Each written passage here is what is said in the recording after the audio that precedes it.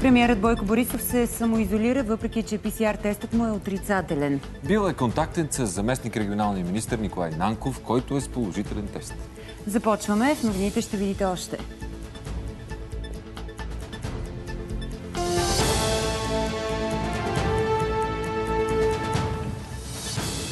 Почти 1600 новозаразени у нас, 59 от тях са медици. В Благоевград болничните отделения са препълнени. Гледаме да прецизираме много хоспитализациите, защото и по-леките пневмонии да ги връщаме вкъщи и им заръчвам да се запалят свещи, да се молят Богу да не се осложнят. Съпругата на Васил Бошков на свобода, след като прекара 8 месеца в ареста. Много хора може би ще кажат, нека и е, нали, на богатата там. Може ли да кажа кучка? Държавата е събрала 8 от общо 700 милиона лева дължими такси от хазартния бизнес на Бошков. Топлофикация София ще реши в понеделник кога да пусне парното. А до дни клиентите ще получат изцяло преработени нови фактури след объркването миналия месец. Фейсбук заменя машините с хора. Съвет от 20 души ще следят за омраза, фалшиви новини и расизъм. Ще може да затваря и профили по сигнали.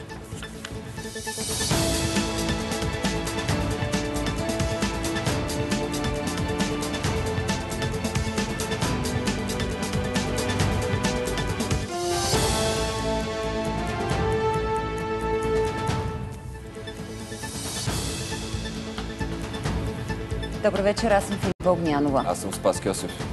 Почти 1600 новозаразени с коронавирус и в правителството. Премьерът Борисов се самоизолира след контакт с министър Нанков, който обяви, че е с вируса.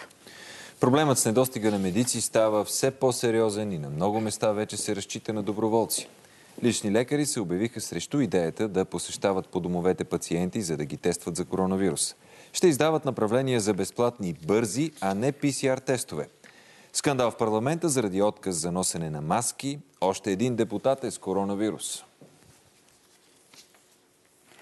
Още 1595 души в страната са заразени с коронавирус за последното денонощие. Направени са 9038 теста. 18% от тестваните са положителни. В болница са близо 1800 души, като 112 са в интензивни отделения. Броят на заразените медици нараства 59 само за 24 часа. Общо засегнатите от заразата медици са над 1700.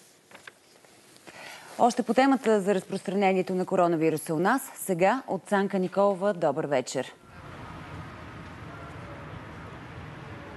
Добър вечер. За пореден ден София с най-много новорегистрирани случаи на коронавирус. Заразените днес са с 66 повече от тези през вчерашния ден. Това осложнява работата и на здравните инспектори, а от понеделник всички болници в София трябва да имат COVID отделения, които да бъдат обезпечени с персонал. Иначе лични лекари у нас са против идеята да правят домашни посещения и да тестват потенциално заразени с коронавирус. Според тях това би довело до срив в до болнични болничната помощ. Позицията идва след коментар на главния държавен здравен инспектор Ангел Кунчев, че подобна идея се обсъжда. От здравната каса заявиха, че до такава тема не се е стигнало. Вижте още. Практиката си доктор Костадин Сотиров лекува и проследява болни с коронавирус, като им се обажда по телефона. Това му отнема поне 2 часа. Според него е недопустимо, ако трябва и да ги посещава, за да им прави бързи тестове от дома. Коя майка би си довела детето в кабинета е при лекар, който е бил директен контакт с болен от коронавирус, двумесечното бебе, за да му направи иммунизация. Ми няма да го доведе никоя. Директният контакт на още практикуващи лекари с инфекциозно болни е немислим. Доктор Гиргана Николова е на същата позиция. Не подкрепи идеята за домашни посещения на евентуално заразени с коронавирус. По думите й, идеята не е обсъждана с Българския лекарски съюз. Къде ще се облече в личната си кола? А, къде ще се дезинфекцира в личната си кола, а, след това къде ще си облече своите дрехи, а, къде ще се извършва това нещо, как ще се случи, как ще стане дезинфекцията, за да дойде после и да работи с едномесечни и двумесечни бебета. Колкото до направленията, личните лекари ще издават, но за бързи, а не за ПСР тестове, както беше обявено. Бързите антигенни тестове са толкова надежни, така че няма никакъв проблем да имаме възможност. Важното е да ги издаваме за да се види дали има положителни от тях и тези, които са положителни, след това директно ще им се извършва и ПСР теста. Според началника на лабораторията в столичната болница Свети Иван Рилски, направленията от личните лекари трябва да въжат за всички тестове, тъй като пациентите се тестват при различни ситуации, а идеален метод няма. Диагнозата не бива да извеждаме само до провеждането на един единствен анализ. Диагнозата се поставя след добре снета анамнеза, като огромно значение при COVID има епидемиологичната анамнеза, т.е. контактите, кога са се случили, как са другите пациенти, с които човека имал контакт. От здравната каса обясняват, че няма как личните лекари да издават направления за ПСР тестове, защото са необходими нормативни промени. Освен това, за ПСР тест касата плаща 60 лева, а бързите ще изтруват около 20. А в Шумен Лекарският съюз призова медиците от доболничната помощ да бъдат задължени да работят и в болницата, за да се преодолее кризата с недостига на персонал. От седмици наред здравното заведение работи с остър дефицит на лекари. Състоянието е плачевно, лекарите са малко, сестрите са малко, изнемогват, пациенти идват и няма персонал, който да ги обслужва. Според лекарската колегия, проблем в критичната ситуация е, че няма нормативен документ, който да ангажира специалисти от други медицински заведения да се включат в лечението на COVID пациенти. Коронавирус в правителството. Заместник министр Николай Нанков е с положителен тест и под карантина. Имал е контакт с премиера и сега Бойко Борисов се е самоизолирал и очаква разпореждания от РЗИ. Във Фейсбук премиерът обясни, че има отрицателен PCR тест от тази сутрин. Тестът е направен преди срещата му с делегация от Съединените щати, както е по изискване на самата делегация. Борисов е информиран от заместник министр Нанков, че е с положителен тест в 16 часа днес. Двамата са се срещали последно преди 5 дни. Изпълнителна агенция Медицински надзор ще проверява защо пет пловдивски болници отказаха лечение на жена, която е в тежко състояние и със съмнение за коронавирус. След 18-часово транспортиране от една болница до друга, без да я приемат, тя е починала в шестото здравно заведение, в което са потърсили помощ. След като в посвета и у нас първи съобщихме за скандалния случай, се самосезира и окръжната прокуратура в Пловдив, в която започна разследване. Проверката на регионалната здравна инспекция по сигнала на БНТ потвърди, че на Совка Шишманова два пъти е отказана хоспитализация в инфекциозната клиника на болница Свети Георги. Причината липса на свободни легла. В транспортна болница и в болница Каспела пък са я пренасочили, защото в този момент не са можели да й осигурят интензивни грижи.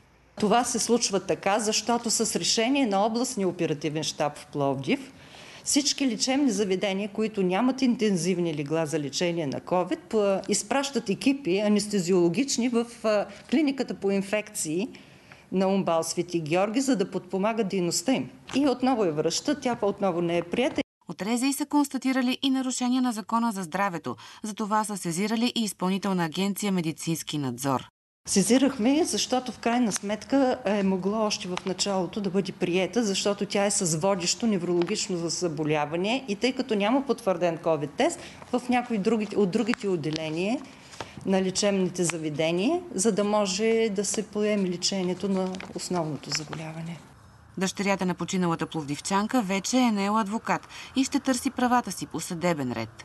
Би трябвало да я приемат още в първата болница трябваше, за да не се стига до тук. Независимо с колко заболявания тя можеше да, да й се помогне. От ръководството на болница Свети Георги обаче отговориха, че съгласно правилата за работа с COVID, съмнителни пациенти се приемат само в клиниката по инфекциозни болести на легла, определени за болни с недоказана лабораторна инфекция.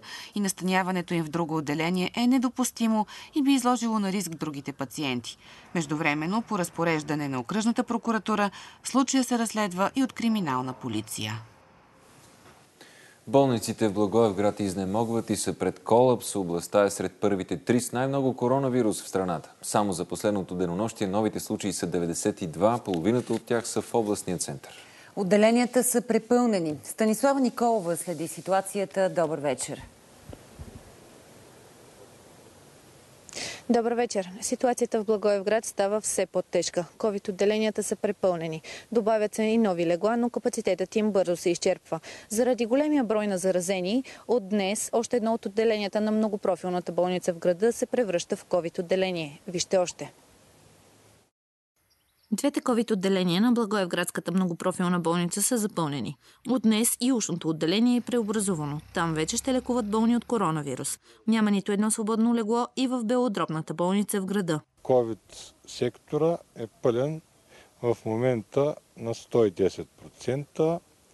Вероятно след няколко часа се напълни до 130%. Е, сега току-що млада жена я върнах, тя с малка пневмония. Гледаме да прецизираме много хоспитализациите, защото и по-леките пневмонии да ги връщаме вкъщи и им заръчвам да се запалят свещи да се молят Богу да не се осложнят. Трима души от персонала на белодробната болница също са с COVID-пневмонии. Лекар, медицинска сестра и служител от администрацията. По-сериозно е състоянието на лекаря. Към момента той е настанен в COVID-отделението, в което работи. Притеснително е положението и в Центъра за спешна медицинска помощ в Сепаре в Баня. С COVID-19 са петима от общо 18-те служители.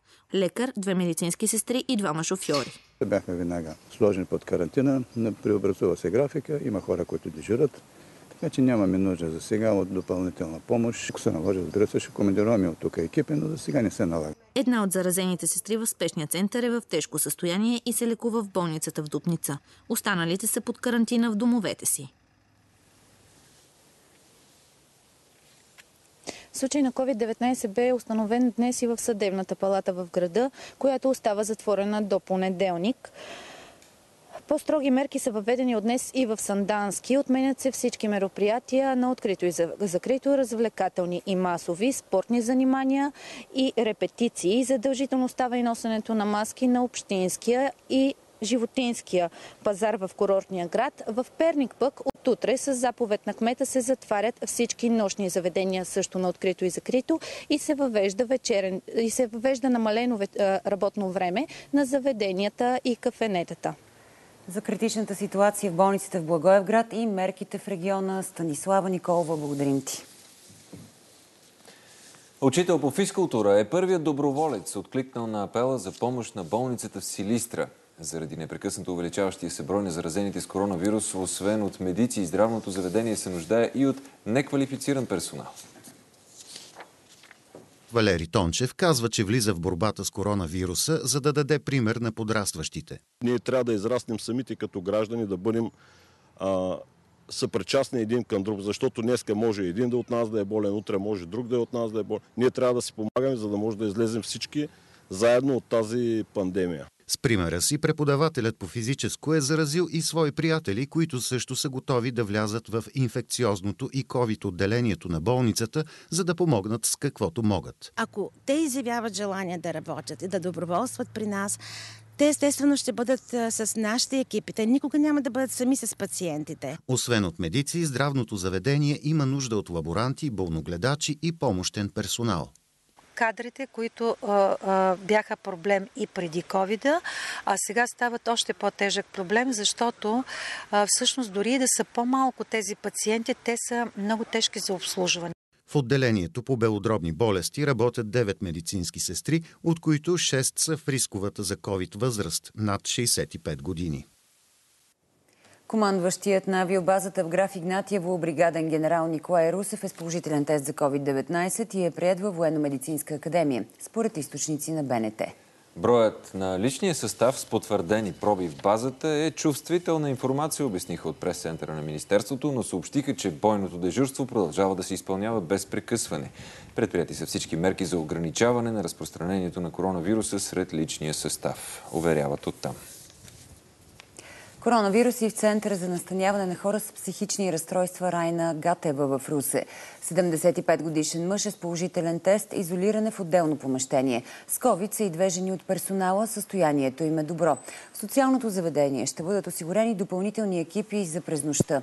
Трите положителни PCR теста в центъра са излезли след задължителното изследване, което се прави във всички социални институции по разпореждане на здравния министр. Така са открити и петимата заразени с COVID в Центъра за настаняване от семейен тип на деца и младежи с увреждания Розовата къща. С коронавирус там са двама души от персонала и трима настанени в Центъра. Два квартала в Казанлък днес бяха дезинфекцирани заради ръста на заразени с коронавирус в града. В кварталите Кула и Стефан Караджа са дезинфекцирани улиците и междублоковите пространства с специален препарат. Продължава всекидневната дезинфекция и на контейнерите за отпадъци. Скандал в парламента заради неслагане на маски. Наложи се председателят на парламента Цвета Караянчева да изгони от залата народен представител заради отказ да си сложи маска. За последните дни двама депутати с положителен тест за коронавирус, Драгомир Стойнев от БСП и депутатът от Воля Симеон Найденов. Положителните тестове на колеги и глобите за неносене на маски явно не притесниха някои депутати, особено от левицата. Председателят на парламента трябваше да напомня.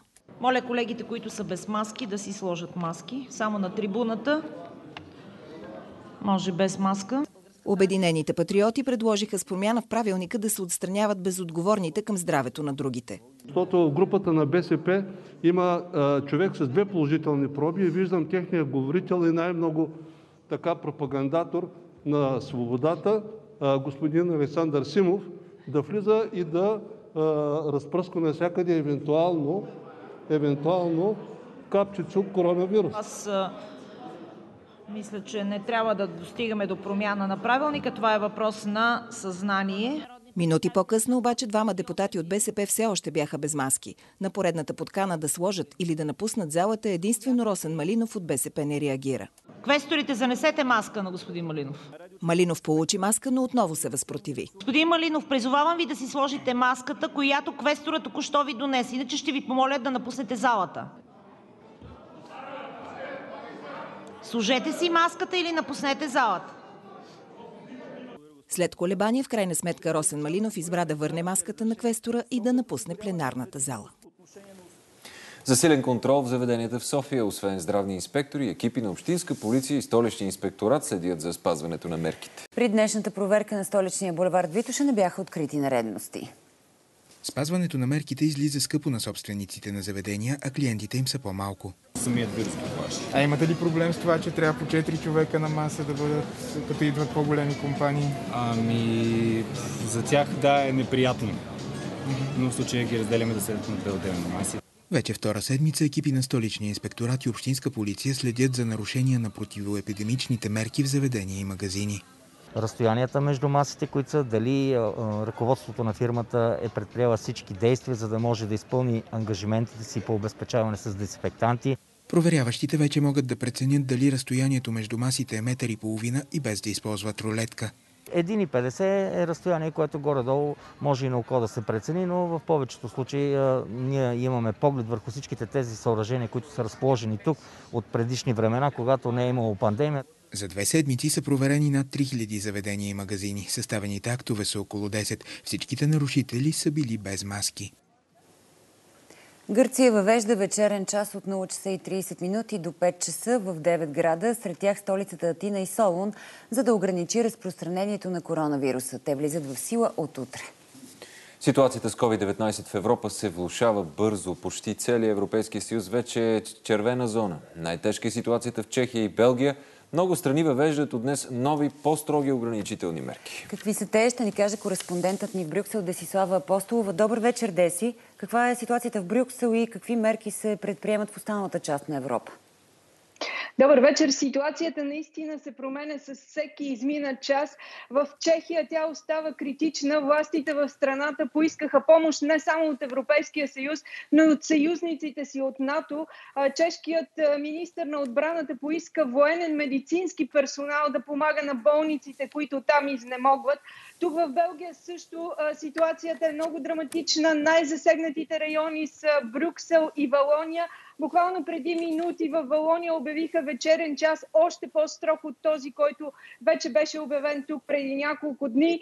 От 10 часа вечерта до 6 няма да могат да излизат хората от домовете си. Нови мерки бяха обявени тук днес. Днес и, нидерландският премьер Марк Руте също обяви нови мерки и каза, че държавата ще подпомага всички, които са пострадали, всички граждани и бизнеса, които страдат от тази втора вълна на COVID в Европа. Вижте още в следващото видео. Ситуацията в Белгия бързо се влушава. Според местни вирусолози, Брюксел и Валония заедно с Чехия са най-критичните места в Европа. В страната вече действа вечерен час, ресторантите и кафенетата са затворени от понеделник и работата от вкъщи е задължителна, когато е възможно. От днес спортните прояви ще бъдат без публика, а университетите трябва да наблегнат на онлайн обучението. За сега училищата остават отворени при строги санитарни мерки. Учителите и децата над 12 години задължително носят маски, а часовете се провеждат на отворени прозорци. В 11 милионна Белгия вчера имаше над 10 000 новозаразени, а над 500 души бяха приети в болница. Бих искал да ви помоля да се грижите един за друг. Идват трудни дни, седмици и вероятно месеци. Съседна Нидерландия транспортира днес с хеликоптер COVID пациенти към Германия. За първи път от началото на втората вълна Европейската комисия изпрати днес 30 респиратори от общия европейски резерв за Чехия. В Прага премиерът Бабиш поиска оставката на здравния си министр само месец след като го назначи. Причината е нарушаване на правилата, които самият министър е разпоредил. Той е бил заснет от журналисти да излиза без маска от ресторант, който би трябвало да е затворен. Заведенията в страната са затворени от миналата сряда, а носенето на маска навън е задължително. Шокиран съм. Не може да казваме на хората да пият вода, а ние да пием вино, каза на извънреден брифинг днес Бабиш. България и Съединените щати подписаха ключови документи в сферата на сигурността на 5G мрежите и на ядрената енергия за граждански цели. Церемонията беше в присъствието на премиера Бойко Борисов и на държавния секретар на Съединените щати Майкъл Помпео, който се включи чрез видеоконферентна връзка. Помпео изтъкна отлично свършената съвместна работа за подготовката за изграждането на мрежите от пето поколение и изрази увереност, че с подписването на декларацията ще се гарантира целокупната сигурност на евроатлантическото семейство. Темата беше ключова и в разговора на премиера Борисов с заместник държавния секретар Кейт Карк по-рано днес. Борисов отбеляза, че светът се събужда и отваря очи за опасностите, които биха били скрити от ненадежните доставчици в мрежите от пето поколение и този риск риск трябва да бъде осъзнат. Министър Теменушка Петкова подчерта стратегическото значение на ядрената енергетика като гарант на енергийната сигурност и за постигане на целите за намаляване на въглеродните емисии. Премьерът напомни, че от миналата година до България достига втечнен природен газ с происход Съединените щати по настоящата газопреносна мрежа. Ние подписваме тези споразумения в момента, когато вече имаме инструментариум на Европейския съюз за сигурността в областта на 5G мрежата. Когато белите страни, така да ги наречеме, които за наша радост ни присъединиха и към банковия Европейски банков съюз, за чистота на финансите, за прозрачност на финансите. Това доказа България към чакалнята на еврозоната и не случайно и кредитните агенции продължават да вдигат кредитния рейтинг на България. Аз оставям на коментаторите да коментират думите и на секретара Помпео, и на помощник държавните секретари. България колко надежна, колко сигурна и колко добър партньор е на евроатлантическата общност. България е ценен стратегически партньор и тази историческа обща декларация го взима предвид. Чистите мрежи са важни за националната сигурност, економическия просперитет и стабилност в региона. Мога да ви кажа, че България е в добра компания. Като член на НАТО се присъединява към 27 от 30 държави, които са част от чистата мрежа. От следващата година с увеличението на минималната работна заплата се увеличава и заплащането на личните асистенти от 730 на 930 лева, обяви социалния министр Деница Сачева. Асистентите ще продължат да работят на трудови договори. Тази година право на личен асистент имат 80 000 души. От следващата броят им щеше да нарасне в пъти до 670 000 заради законът за личната помощ, който дава право на всеки човек с увреждане да кандидатства за личен асистент. За да избегнат това от Социалното министерство предлагат промени. Няма механизъм по който да можем да финансираме лични асистенти за 670 000 души, нито пък разполага държавата с толкова хора за лични асистенти нито пък е нужно абсолютно всеки, който има някакъв вид и степен на увреждане, да има личен асистент. Всички, които получават до момента лична помощ, ще продължат да я получават, увери социалният министр. Що се отнася до универсалните детски добавки, в момента ние сме предложили за следващата година да отпадне подоходния тест. Двете помощи за първи и за 8 клас сме предложили да се увеличат и да бъдат по 300 лева и също са без подоходен тест. Всичко това само до края на 2021 година. След това ще се прави анализ и който управлява ще решава дали да продължи по този начин тази възможност за детски добавки.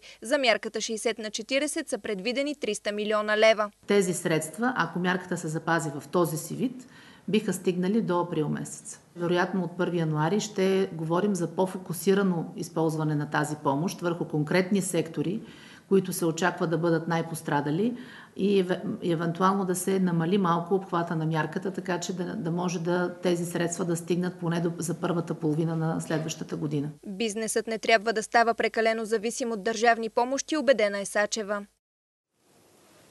Съпругата на Васил Бошков, Елена Динева, излезе на свобода. Тя е освободена с постановление на наблюдаващия делото прокурор, тъй като изтича максималния 8-месечен срок, в който може да бъде задържана без внесен в съда обвинителен акт. Динева е обвиняема за участие в организирана престъпна група за данъчни престъпления, пране на пари, търговия с културни ценности и корупционни престъпления, ръководена от Васил Бошков. Елена Динева излезе на свобода точно 4 дни преди да изтече максималният срок за задържане под стража и 17 дни след като апелативният специализиран наказателен съд реши, че тя може да бъде на свобода под парична гаранция в размер на 1 милион лева. Съпругата на разследвания по 18 обвинения Васил Бошков не я плати. Въпреки това прокуратурата спази законът и срокът и вратите на ареста се отвориха за Динева. Въобще не очаквах така се Какви ви бяха очаквания? Ами първо, аз съм 8 месеца в арест. Не знам дали си спомняте. Излежах си ги класически, красиво. А, както се казва, а, за лукса на прокурора Гешев, за лукса на премиера Борисов. Благодаря на хората, че се грижиха добре за мене. Освен от адвоката си, до портала на Националното следствие Динева беше съпроводена и от двама надзиратели, с които тя се сбогува преди да прекрачи прага към свободния живот. От прокуратурата съобщиха, че по отношение на Динева остава определената от специализирания наказателен съд гаранция от 1 милион лева. Според информация на посвета и у нас, в постановлението за пускането и било записано, че гаранцията трябва да бъде платена в, цитирам, разумен срок. Много хора може би ще кажат, нека и е, нали, на богатата там. Може ли да кажа кучка? Може, разбира да. се. В крайна Закон е за всички. Но само искам да ви кажа още нещо. И беззаконието е за всички. А с, с каква мярка излизате в момента? Какво пише в постановлението? Елена Динева има забрана да напуска страната. Апелативният спецсъд пусна под домашен арест и друг обвиняем по разследванията срещу Васил Бошков. Адвокатът Слав Чумарков с хуманитарни мотиви, напреднала възраст и влушено здраве. Държавата е събрала 8 милиона лева от общо 694 милиона лева дължими от хазартния бизнес на Васил Бошков, съобщи в парламента министрът на финансите Кирил Ананиев в отговор на въпрос от депутата от опозицията Румен Гечев. Запори за около 270 милиона лева на НАП върху активи на една от фирмите на бизнесмена бяха отменени от Софийския административен съд. Бившата държавна комисия по хазарта е издала 8 акта за установяване на публични държавни вземания от 4 фирми на Васил Бошков. До закриването на регулатора през август тази година нито един лев не е изплатен на държавата, обяви Кирил Ананиев. Горе посочените 8 броя акта са изпратени по компетентност на Националната агенция за приходите за предприемане на действия по принудително събиране на установените с тях публични вземания. Парите, които Бошков дължи на държавата са 694 милиона лева, 556 са главница, а 137 лихва, обясни Ананиев. За събиране на посочените вземания са наложени обезпечителни мерки върху цялото установено имущество, движимо и недвижимо и активи на длъжниците. Някои запори за около 270 милиона лева вече бяха отменени от административния съд в София, а другите все още се оспорват пред съда. От вашия отговор е ясно, че Националната агенция за приходите е събрала трохички. Некадърници ли са в териториална дирекция София? Първи въпрос. Ако са некадърници, кога ще ги уволните днеска? И второ, умишлено ли са подали некадърни документи, които връща българския съд и кога ще ги дадете на прокуратурата? Нито са некадърни хората, които работят в териториалната дирекция на НАП, нито материалите, които са подготвени, са с пропуски или с неверни неща. Така е решил Софийски градски съд, така е разпоредил. Финансовия министр отговори и на питане за фалиралия преди две години кипърски застраховател Олимпик, който засегна 200 000 български клиенти. Кипърския гаранционен фонд отказва да изплати обещетения на застрахованите в Олимпик българи, а Българския гаранционен фонд иска арбитражно решение по тази позиция. Няма общо европейски регламент за защита на застраховани лица в друга държава членка. 107 вечер на протести. От центъра на София, Зоя Велинова, здравей! Добър вечер. От центъра на София по щат Независимост виждате зад мен абсолютно спокойно протича протеста. Така и започва тази вечер с същите искания за оставка на премиера Бойко Борисов и главния прокурор Иван Гешев.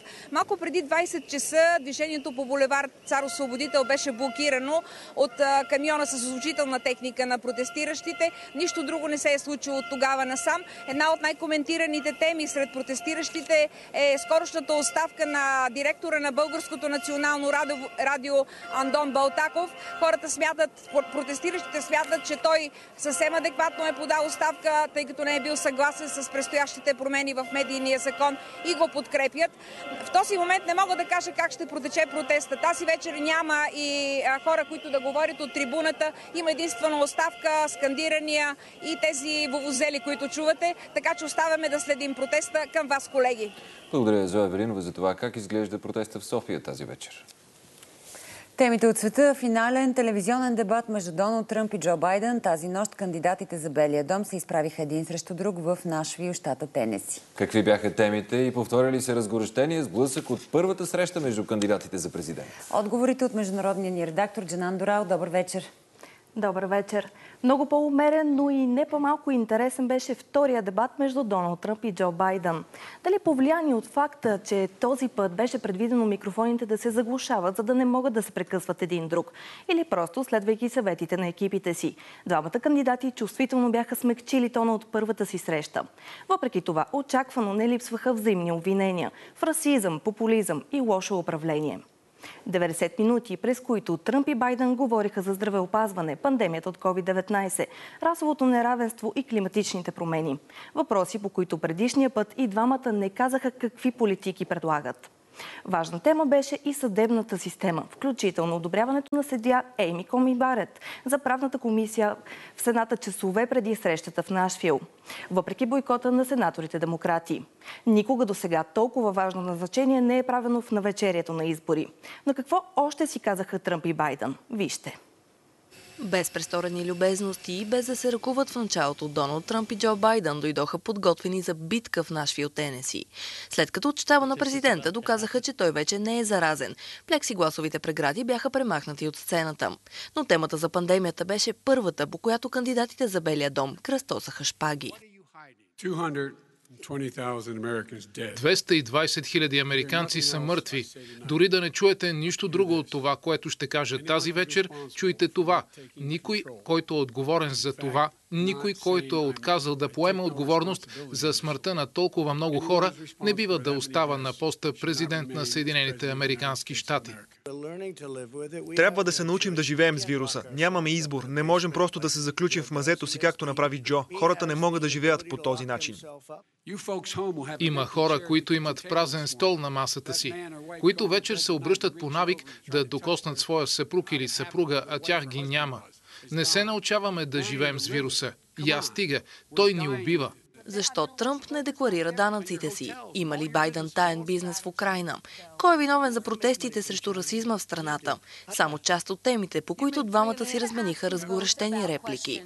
Аз съм последният човек в тази зала, когато можете да наречете расист. Въпреки, че микрофоните им се заглушаваха, докато не е техен ред да говорят. Байден няколко пъти не скри раздразнението си от казаното от Тръмп, а самия президент надвиши даденото му време с 3 минути. Я стига, стига вече. О, Боже! Заключителната част отново беше на тема здравеопазване. Според Тръмп, Обама Кер, създадена по времето, когато Байден беше вице-президент, е неефективна.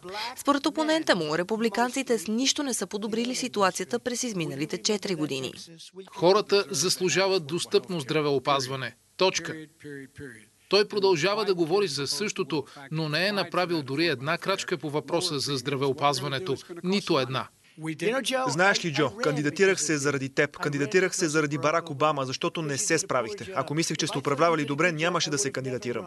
Придружени от своите съпруги Мелания и Джил и без да си кажат довиждане, претендентите за Белия дом сложиха точката на последния си дебат.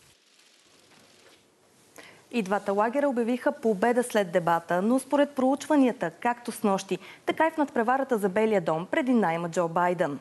По данни на BBC, 11 дни преди изборите, Байден има подкрепата на 51% от американските граждани. За действащия президент Тръмп са 43%. Така една от най-необикновените и напрегнати кампании за Белия дом наближава кулминацията си на 3 ноември. Благодаря, Дженан Дорал, за последния телевизионен дебат между двамата кандидати за президент на Съединените щати.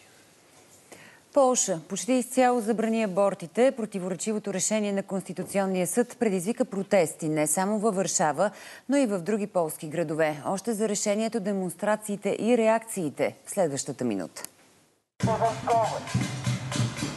Стотици излязоха по улиците на Варшава, за да изразят недоволството си от решението на Конституционния съд да обяви за незаконни абортите, дори при вроден дефект на плода. Протестиращи и полиция влязоха в сблъсък. Според официалната информация, служителите на реда са били замерени с камъни и за това се е наложило използването на лютив спрей. За право и справедливост и за съда всъщност партията е превзела магистратите. Пандемията е идеалният момент за прокарването на подобни закони. Да ограничат гражданските ни права и свободи. А така реагираха на новината за конституционното решение привържениците на инициативата Спрете абортите. Днес Полша е пример за Европа и света. Дами и господа, вече няма историческа необходимост от заход наляво и постепенно увеличаване на възможностите за убийство. Възможно е животът да бъде защитен. Когато решението на магистратите влезе в сила, в Польша абортите ще са разрешени само в три случая – изнасилване, кръвосмешение и в случай, че животът и здравето на майката са застрашени. Консервативните ценности играят все по-голяма роля в Польша след идването на власт на право и справедливост преди 5 години. С това решение Польша се отдалечава от преобладаващото в Европейския съюз право на мнение за абортите. По-строги закони за прекратяване на бременност има само в Малта. Независим надзорен съвет към Фейсбук вече работи и приема случаи за разглеждане. Панелът ще може да отменя решения за публикации и да препоръча промяна в политиката на мрежата. Идеята хората частично да заменят алгоритмите се появи през 2018 в отговор на упреци към Марк Зукърбърг и компанията му, че не успява да се справят с речта на омразата, фалшивите новини и расизма. Панелът е съставен от 20 души, сред тях бивш премьер, Нобелов лауреат за литература, няколко известни адвокати и защитници на човешките права. Съветът ще има 90 дни за решаването на всеки един казус. Все още не са ясни причините за фаталния инцидент, при който камион падна от Аспаруховия мост, а шофьорът загина на място. Назначени са експертизи, които трябва да са готови до два месеца. Версиите са няколко. Здравословен проблем на шофьора, техническа неизправност на камиона. Ще се провери също и състоянието на пътната настилка. Падналият от Аспарухвия мост камион вече е изтеглен. Часове след инцидента беше възстановено и движението по пътното платно в посока Бургас. Днес по нищо не личи, че от това място падна тежкотоварния автомобил. Мантинелата и оградата са напълно възстановени. Възложени са няколко експертизи, които трябва да установят причината за фаталния инцидент. Автотехническа експертиза, експертиза, която да прецени състоянието на пътната настилка и на мантинелата, като също възможност за пътно-транспортното происшествие. Камиона е иззет като веществено доказателство по делото и при необходимост ще бъде допълнително изследван от експерта. Техническата експертиза на мантинелата ще покаже какво е било състоянието и дали е трябвало да спре камиона. Според Христо Димитров от Българската асоциация на пострадалите при катастрофи, подобни инциденти могат да се избегнат, ако черпим опит от други европейски страни, които са водещи по отношение на безопасността на пътните съоръжения. В Западна Европа на някои места използват доста сериозни бетонови блокове за разделяне на потока по магистралите, които спасяват, дори и спират и тежки военни машини. От агенция Пътна инфраструктура заявиха, че състоянието на мантинелите на Спаруховия мост се проверява всеки ден, а подмяната на повредените е ангажимент на община Варна. Според независими пътни експерти, мостът е в добро общо състояние и преминаването по него е безопасно, допълниха от агенцията. Нещо важно за абонатите на столичната топлофикация. В понеделник дружеството ще реши кога ще пусне парното, а до дни клиентите ще получат изцяло преработените нови фактури. Причината е объркването миналия месец, какви са задълженията по текущите сметки, какви са за минали периоди и каква е компенсацията на домакинствата заради поевтиняването на газа миналата година с близо 40%. Как ще изглежда новата фактура сега от Николай Минков? Добър вечер. В новите фактури с големи червени букви ще бъде упоменато, ако клиентът дължи суми на топлофикация или ако срещу него вече е започнало производство. Отделно се въвеждат 12 графи, като най-важната за абонатите е осмата, в която отново с големи червени букви ще бъде посочена окончателната сума за плащане. Статистиката на Топлофикация София показва, че въпреки объркването с сметките миналия месец нараства процента на столичани, които предпочитат на време да си платят фактурите или това са близо 77%. Само 20 на 100 от клиентите на Топлофикация имат просрочие до 6 неплатени сметки. Вижте и подробностите. И днес пред столичната топлофикация имаше недоволни клиенти. Искам да ми направят справка за това какво са имали да ми дават, какво са ми приспаднали, защото оня ден отидах и отново платих сума. От дружеството ги успокоиха, че до дни ще получат изцяло обновената и напълно разбираема нова фактура. Целта на тази промяна е а, нашите потребители да могат да имат по-ясна представа за своите задължения към топофикация. Тази информация да е ясно и систематизирана показана за тях. Общо 12 графи съдържа новата фактура. За потребителите са най-важните от четвърта до осма. В четвърта е информацията за текущото потребление. В пета – това какво е прихванала топлофикация София за това, че от август миналата година до март тази абонатите са плащали с 40% по-скъп газ. Следва разликата от двете графи дали трябва да се доплаща или дружеството ще връща пари на клиента за текущия месец. А в седма дали има да се доплаща за миналите периоди или пък дружеството ще връща пари. Най-важната информация е в осма графа, където с червен цвят е посочена общата сума, която трябва да се заплати от абоната. Допълнителните приложения това е информация информацията относно това как е калкулирано самото потребление, как е достигнат размера на съответната сметка, от какво се формират общите задължения на клиента, както и възможности и начини за разплащане към топофикация. Заради противоепидемичните мерки физическия отчет на топломерите е силно затруден, предупреждават топлините счетоводители и съветват да се премине на дистанционен. За тази цел трябва да се монтират други уреди. Това, което към момента налага влизането в имотите са водомерите за топла вода най-често, тъй като те все още са визуални. Има директива за енергийна ефективност, предвиждаща след 25 октомври тази година, на практика след няколко дни, всеки нов уред, който се монтира, разпределител, апартаментен топломер или водомер за топла вода, да бъде с дистанционно мерене. Топлинните счетоводители обаче предупреждават, че не може произволни фирми да монтират дистанционни уреди. Това да, трябва да бъде фирмата с дяло разпределение или доставчика на ВИК услуга. Новите фактури за парно столичани ще получат още следващата седмица.